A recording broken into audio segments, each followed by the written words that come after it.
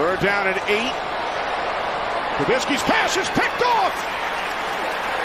Bleeding Ray Wilson comes up with the interception for Atlanta. Robinson split out wide to the right.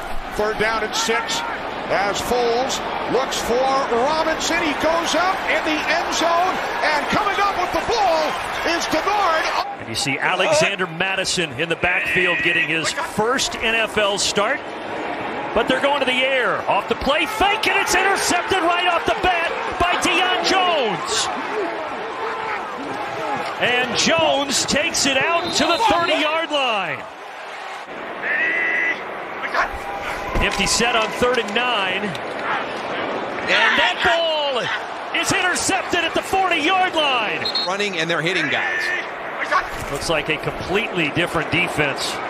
That ball hit and intercepted. And Kirk Cousins has thrown three picks in the first half. This time it's Oluokun.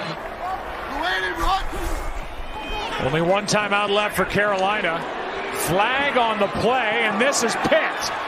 Intercepted. John Elway MVP. Lock under pressure, throwing over the middle, intercepted. Picked off at the 30-yard line. Ricardo Allen still on his feet and dips inside the 15-yard line. Booker remains. Crumbling pocket. It's intercepted and picked off on the play. This is Deion Jones. He'll take it all the way. At the 45.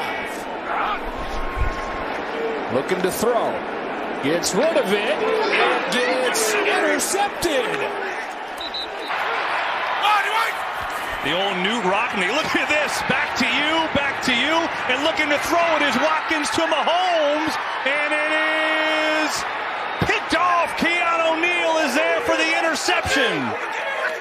Go, go.